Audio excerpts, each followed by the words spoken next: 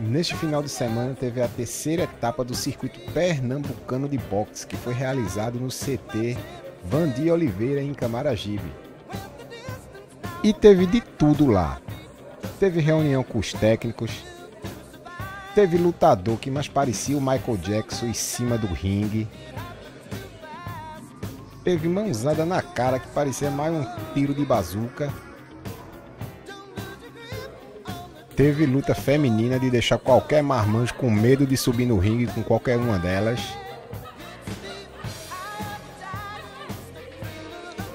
Acompanhe aí alguns flashes do que foi a terceira etapa do circuito pernambucano de boxe.